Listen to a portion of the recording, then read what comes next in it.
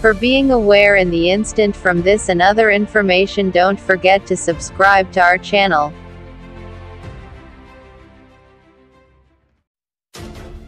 Scientists have fulfilled a mummified Egyptian priest's wish for life after death by replicating his voice with artificial vocal cords. Nesyamun's voice has been reproduced as a vowel-like sound that is reminiscent of a sheep's bleat.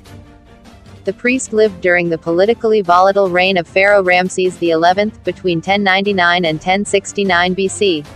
As a priest in Thebes, Nesyamun would have needed a strong voice for his ritual duties, which involved singing. When Nesyamun died, his voice fell silent, but 3,000 years on, a team of researchers have brought it back to life. They have done so by producing a 3D printed voice box based Nesyamun's vocal tract, which was scanned to establish its precise dimensions. By using the vocal tract with an artificial larynx sound, they synthesized a vowel sound meant to be similar to the voice of Nesyamun. It is believed to be the first project of its kind to successfully recreate the voice of a dead person through artificial means.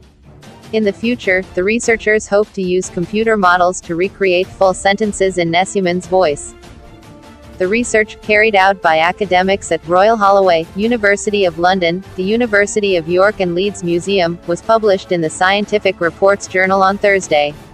The voice recreation technique has given us the unique opportunity to hear the sound of someone long dead, said study co-author Joann Fletcher, a professor of archaeology at the University of York.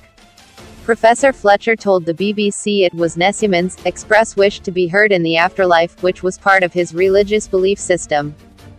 It's actually written on his coffin, it was what he wanted, Professor Fletcher said. In a way, we've managed to make that wish come true.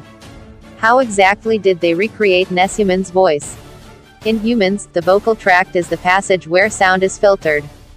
That sound is produced at the larynx, the organ commonly known as the voice box, but we only hear it once it has passed through the vocal tract. To copy the sound produced by Nesyamun's vocal tract the exact dimensions of it were mirrored in 3D printed form. But this process is only possible when the soft tissue of an individual's vocal tract is reasonably intact. In Nesyamun's case, the fact that his mummified body was well preserved made this more likely, and the team confirmed it using a CT scanner at Leeds General Infirmary. Following the scans, a 3D printed tract was created for Nesyamun, whose voice was then generated by an artificial larynx sound, a method commonly used in modern speech synthesis systems. The next step for the researchers will be to use computer models to generate words and string those words together to make sentences, said Professor Fletcher. We're hoping we can create a version of what he would have said at the temple at Karnak. Who was Nesyamun? Nesyamun was a priest at the temple of Amun in the Karnak complex at Thebes, modern-day Luxor.